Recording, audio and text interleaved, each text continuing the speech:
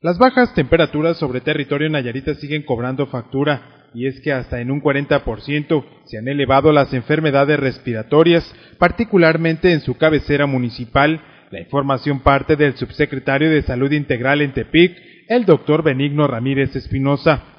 Sí, hemos tenido, a través de la Secretaría de Salud Integral, hemos tenido un 40% más en la elevación. No ha sido significativo, pero ha sido considerable. Hemos estado trabajando en la medicina preventiva, de que tomen su, jugo de naranja, su ácido cítrico, su ácido ascórbico y posteriormente que, mantengan a, los niños bien abrigados este, al a acudir a la escuela.